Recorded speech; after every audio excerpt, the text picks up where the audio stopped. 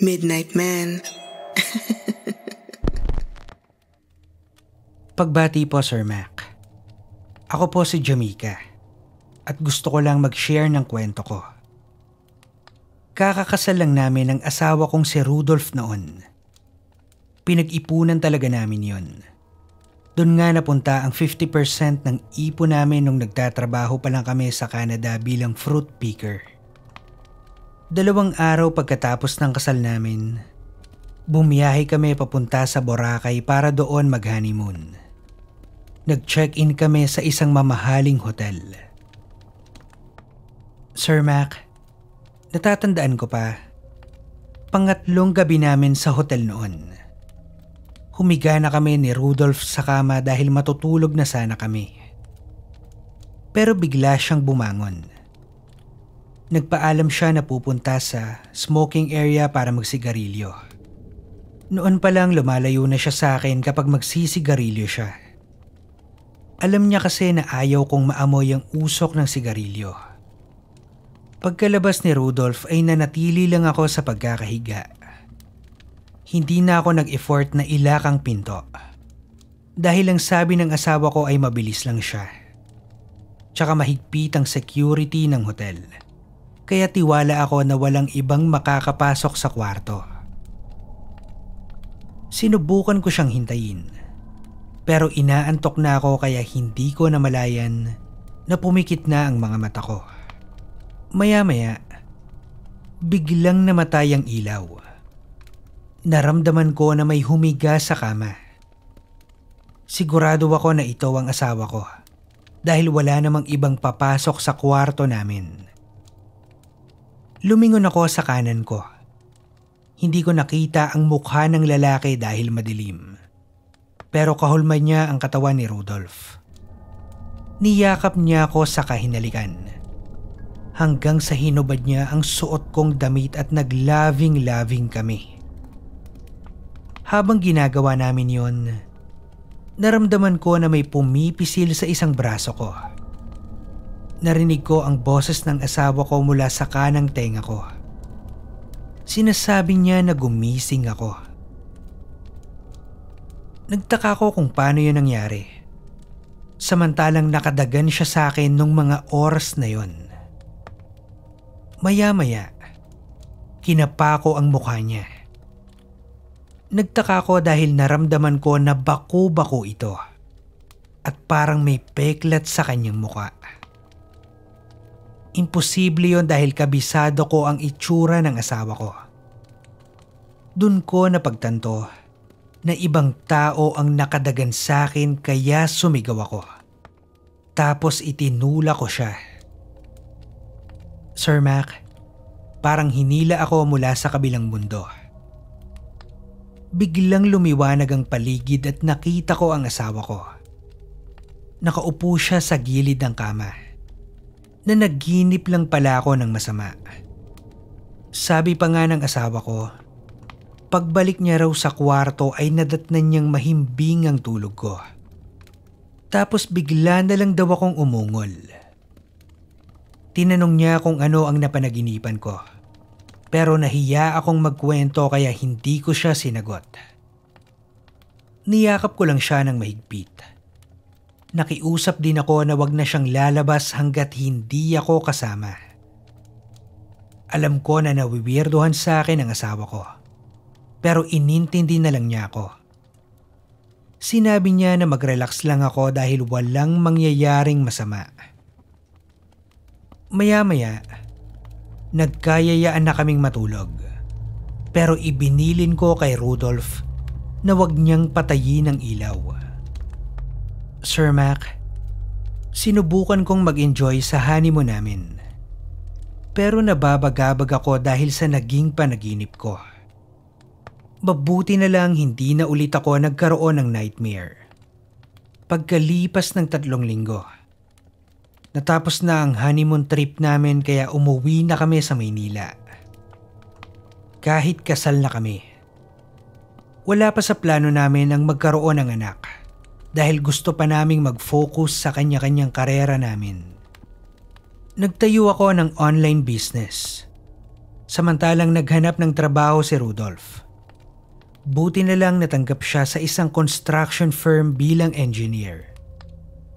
Pero pagkatapos ng ilang buwan ay naramdaman ko na may kakaiba sa katawan ko. Nagsusuka ako tuwing umaga. At palagi akong inaantok. Binibiro nga ako ng mga kaibigan ko na buntis ako. Pero imposible yon dahil umiinom ako ng pills.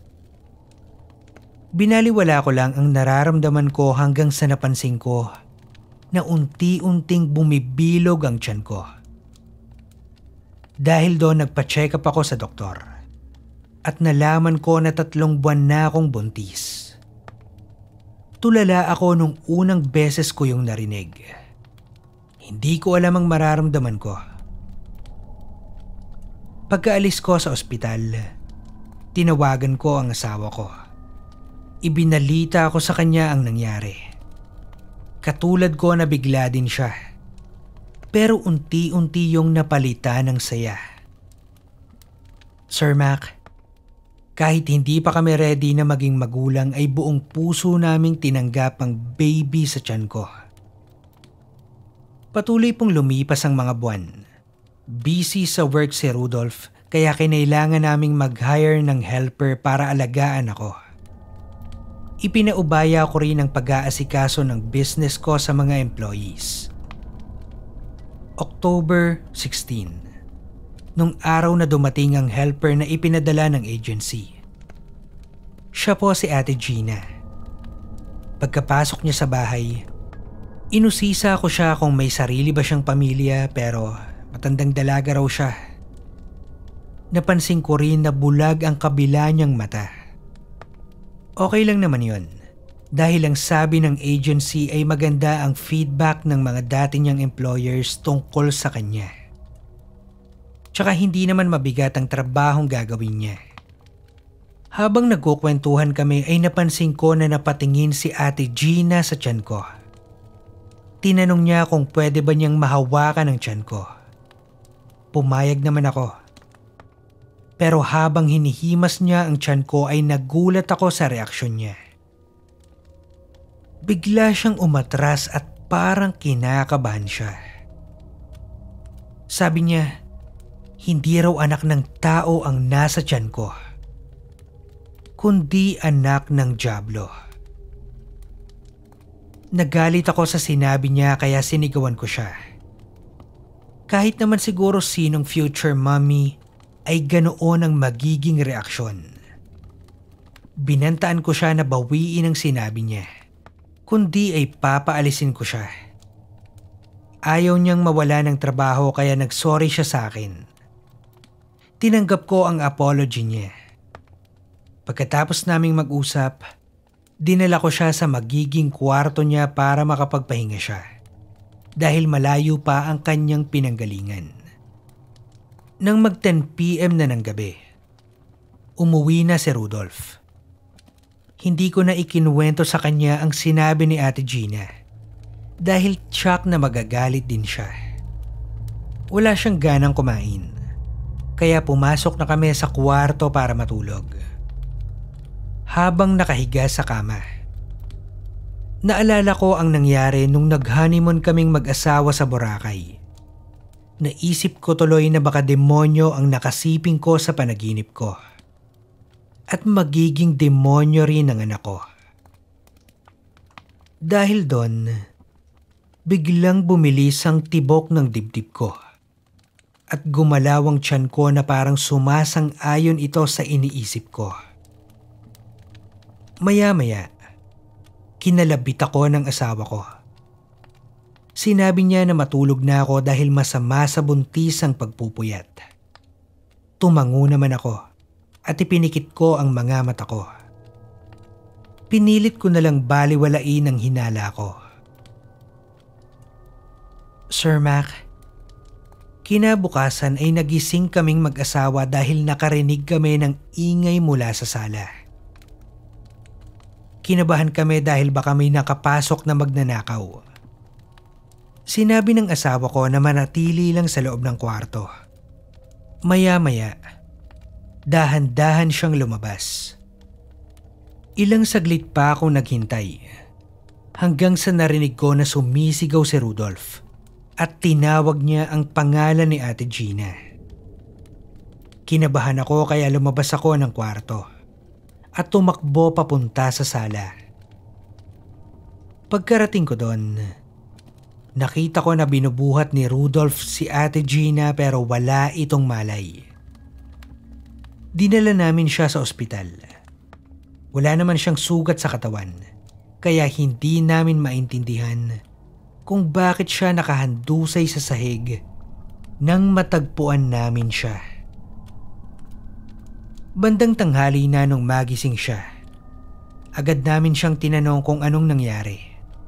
Pero wala siyang maibigay na sagot. Ang sabi niya lang, hindi na niya kayang magtrabaho para sa amin kaya aalis na siya. Nagkatinginan kaming mag-asawa. Isang araw pa lang siyang nagtatrabaho. Pero umaayaw na agad siya. Sinubukan pa namin siyang kumbinsihin na magstay. Pero ayaw niya talaga. Dahil doon wala na kaming nagawa kundi hayaan siyang umalis. Kami na rin ang nagbayad ng kanyang hospital bills para hindi na siya mahirapan. Sir Mac, Naisip ko na baka may kinalaman ng pag-alis ni Ate Gina tungkol sa sinabi niya na anak ng Diablo ang pinagbubuntis ko. Pero sinarili ko na lang yon dahil ayokong mag-alala ang asawa ko. Naghanap na lang kami ulit ng helper. Lumipas po ang mga buwan hanggang sa sumapit na ang kabuwanan ko. Habang nagwawalis ako ay naramdaman ko na basa ang legs ko. Pumutok na pala ang panubigan ko. Kaya tinawag ko ang helper namin para kunin ang maternity bag at dalhin ako sa ospital. Habang nasa biyahe, inutusan ko ang helper na i-text ang asawa ko para sumunod ito sa ospital. Nasa trabaho kasi ito. Pagkarating namin doon, Inasikaso ako agad ng OBGYN ko. Pero nagulat ako nang sabihin niya na walang heartbeat ang baby ko. Kailangan na raw itong maialis sa katawan ko dahil malalason ako. Tulala lang ako nung mga oras na yon dahil hindi ko naiintindihan ang nangyayari. Sir Mac, hindi po nabuhay ang baby ko. Sobrang nalungkot kaming mag-asawa. Pero tinanggap namin yon. Dalawang linggo akong iyak ng iyak noon. Pero nagpatuloy na lang po ako sa buhay ko. At hanggang ngayon, hindi ko pa rin napapatunayan kung Diablo ba talaga ang tatay ng dapat sanay magiging anak ko.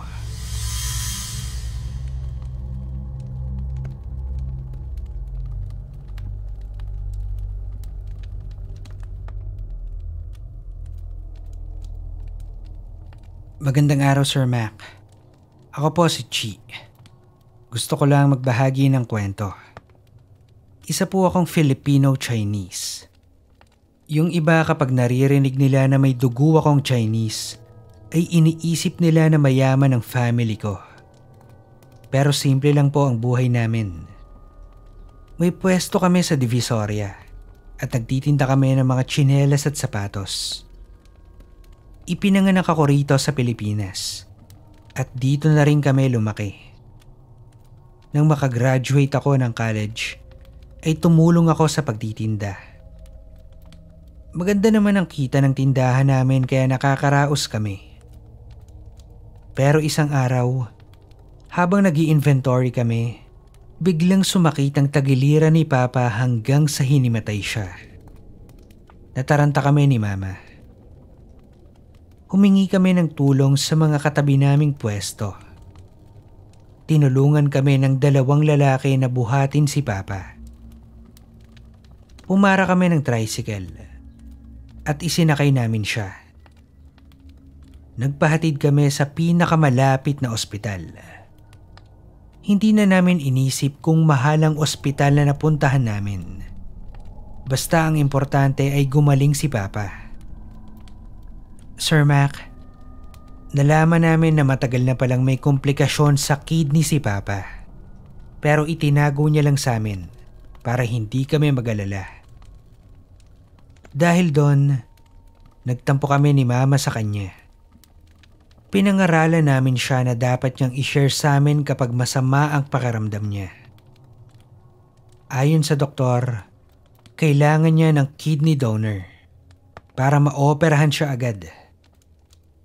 Nagpa-test kaming dalawa ni Mama para malaman kung match ang kidney namin kay Papa pero hindi compatible ang kidney ko kay Papa. At hindi na pwedeng mag-donate si Mama dahil matanda na siya. Baka raw hindi kayanin ng katawan niya ang operasyon. Gusto naming makaligtas si Papa, kaya humingi kami ng tulong sa mga kamag-anak at kaibigan namin. Isang araw, pumunta sa bahay ang pinsan kong si Chari. Kasama niya ang isang matandang babae Ipinakilala niya ito bilang Miss May. Nang makausap namin si Miss May, sinabi niya na handa siyang tulungan kami para makahanap ng kidney donor si Papa. Pero may kapalit ito. Kailangan ko raw magpakasal sa anak niyang lalaki. Nang sabihin niya yon, agad akong tumanggi. Naniniwala kasi ako na sagrado ang kasal tsaka gusto kong ikasal sa lalaking mahal ko. Pero ipinaliwanag ni Miss May na hindi ko kailangan makisama sa anak niya. Para sa mga hindi nakakaalam, may tradition po kaming mga Chinese na kapag namatay ang isang tao, ay ipinapakasal ito sa taong buhay. Ginagawa ito para hindi maging mag-isa ang taong namatay. Gusto rin nilang masigurado na hindi na ito mamamatay na single sa pangalawa nitong buhay.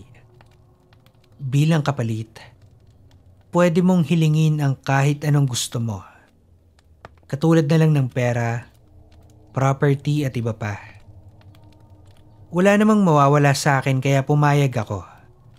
Tsaka kapag dumating ang araw na magkaroon ako ng boyfriend, ay pwede akong magpakasal ulit. Pero kailangan kong sumama papuntang China dahil doon daw nakaburol ang anak ni Miss May. Pagkarating doon, sinalubong ako ng mga kamag-anak ni Miss May. Tinanggap nila ako ng maayos. At parang parte talaga ng pamilya ang turing nila sa akin.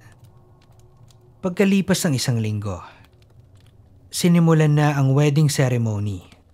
Chang ang pangalan ng napangasawa ko.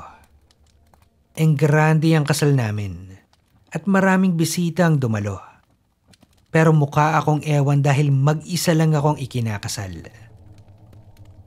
Nang matapos ang ceremony, sinabihan ako ni Miss May na kailangan ko pang magstay sa China sa loob ng dalawang buwan para raw makasama ko si Chang. Bukod doon, kailangan ko rin daw itabi ang picture nito sa pagtulog ko. Sinunod ko po ang gusto niya. Kasabay nun, tinupad niya rin ang pangako niya na hahanapan ng kidney donor ang papa ko. Madalas kong tawagan ng mga magulang ko. Ibinalita nila sa akin na successful ang operation ni Papa. Nakalabas na raw ito sa ospital at sa bahay na nagpapagaling. Isang gabi, habang mag-isa ako sa kwarto ay tinitigan ko ang picture ng asawa kong patay. Maya-maya, naramdaman ko na may tao sa likod ko at sinusuklay niya ang buhok ko. Nang lumingon ako, nakita kong nakatayo ang isang naaagnas na katawan. Humakbang siya papalapit sa akin na parang gusto niya akong yakapin. Dahil sa sobrang gulat ay nabitawan ko ang picture frame. Tumakbo ako palabas sa kwarto habang sumisigaw. Narinig ako ni Miss May kaya lumabas siya sa kwarto niya. Nilapitan niya ako at tinanong kung bakit ako sumisigaw. Habang nanginginig sa takot ay kinuwento ko ang nangyari. Tinulungan ako ni Miss May na huminga ng malalim. Sinabi niya na wag akong matakot dahil baka gusto lang akong makita ng asawa ko. Kaya dumalaw ang kaluluwa nito. Kinumbinsi niya rin ako na bumalik sa kwarto. Masyadong effective ang convincing power niya kaya napilitan akong sumunod sa utos niya. Pagkabalik ko sa kwarto, Pinulot ko ang picture ng asawa ko. Mabuti na lang hindi yun nabasag. Humiga ulit ako sa kama at natulog. Sir Mac, pagkalipas ng dalawang buwan ay pinayagan ako ni Miss May na bumalik sa Pilipinas. Pero kailangan ko raw bumalik sa China sa tuwing sasapit ang wedding anniversary namin ni Chang. Bilang asawa, obligasyon kong dalawin ang puntod nito kung hindi si Chang mismo ang dadalaw sa akin. Hanggang ngayon, sinusunod ko pa rin ang mga bili ni Miss May para hindi na ulit magparamdam ang multo ng asawa kong patay. Hanggang dito lang po Sir Mac eh. Pagpasensyahan niyo na po. Maraming salamat po.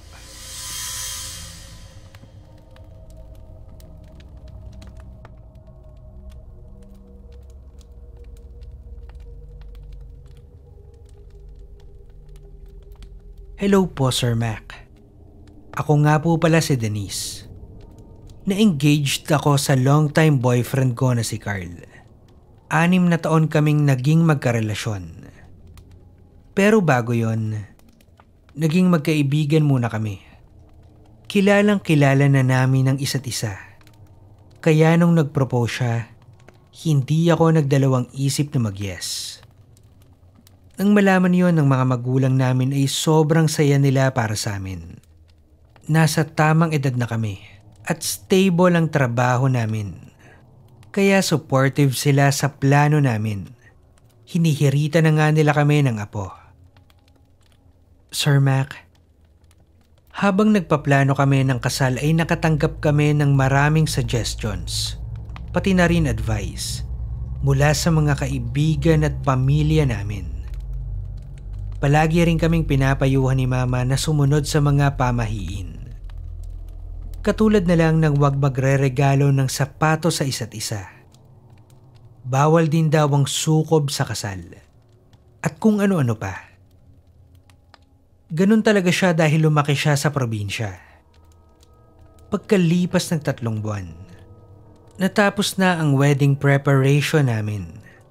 Nakahanap na kami ng venue Maayos na ang susuotin namin at naipadala na rin namin ang mga invitation cards.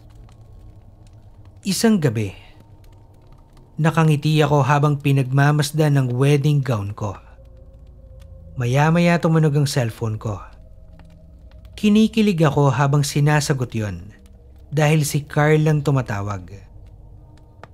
Nagulat ako nang sabihin niya na lumabas ako dahil hinihintay niya ako sa labas ng gate. Pero sinabi ko na hindi pwede. Bukas na ang kasal namin kaya bawal kaming magkita ngayong gabi. Pero mapilit siya. Hindi na raw siya makapaghintay na makasama ako. Dahil doon napilitan akong lumabas sa kwarto ko at nagpunta ako sa labas ng gate. Agad kong niyakap si Carl at sinabi niya kung gaano niya ako kamahal. Maya-maya, narinig ko ang boses ni Mama. Sinita niya kami na bawal daw kaming magkita. Kapag hindi raw kami sumunod, may mangyayaring masama. Mataas ang respeto ni Carl kay Mama kahit hindi siya naniniwala sa pamahiin. Sumunod pa rin siya. Maayos siyang nagpaalam sa amin Maya-maya sumakay siya sa kotse at nagmaneho paalis. Sinenyasan naman ako ni mama na pumasok sa loob ng bahay. Sir Mac, pumunta ako sa kwarto ko. Iniligpit ang wedding gown ko at natulog na ako. Kinabukasan nagising ako dahil narinig ko ang boses ni Carl. Tinatawag niya ang pangalan ko. Bumangon ako at sumilip sa bintana. Napangiti ako nang makita si Carl. Binigyan ko pa nga siya ng flying kiss. Maya-maya may kumatok sa kwarto ko. Narinig ko ang boses ni Mama. Halatang natataranta siya kaya agad kong binuksan ang pinto. Hinawakan niya ng mahigpitang kamay ko at sinabing hindi na matutuloy ang kasal namin ni Carl dahil patay na ito. Naaksidente raw ito kagabi habang nagmamaneho. Hindi ako naniwala sa kanya. Sinabi ko na nakita ko si Carl at nasa labas ito. Sumilip ulit ako sa bintana pero hindi ko na nakita si Carl. Tumakbo ako palabas sa kwarto hanggang sa makarating ako sa gate. Sinundan naman ako ni mama habang pinapakalma niya ako. Sabi niya na baka magpakita sa akin si Carl dahil gusto nitong magpaalam. Sir Mac, hindi nag-sink in sa akin ang nangyari. Hanggang sa makita ko ang bangkay niya. Kung alam ko lang na mamamatay siya, sana ay mas sinunod namin ang mga pamahiin na ibinili ni Mama. Hanggang ngayon, hindi pa rin ako nakaka-recover sa nangyari. Hindi rin ako sigurado kung magmamahal pa ako ulit.